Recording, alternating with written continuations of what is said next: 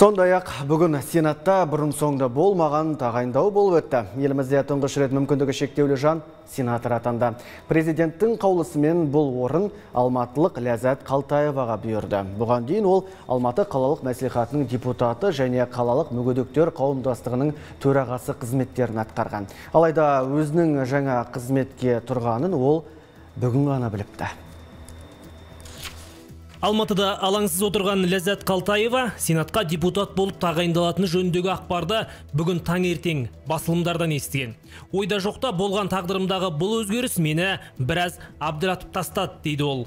Сегодня такой очень знаковый день, я и волнуюсь, и радуюсь.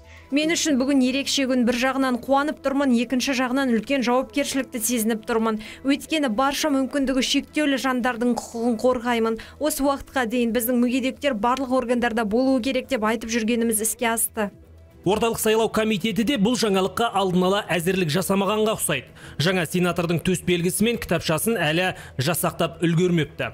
Ләззат қалтаева қазір алматыда. Тағдырдың тауқыметін тартқандардың жан айқайын жақсы білетін сенатор енді өзі білек сыбанып кіріспек.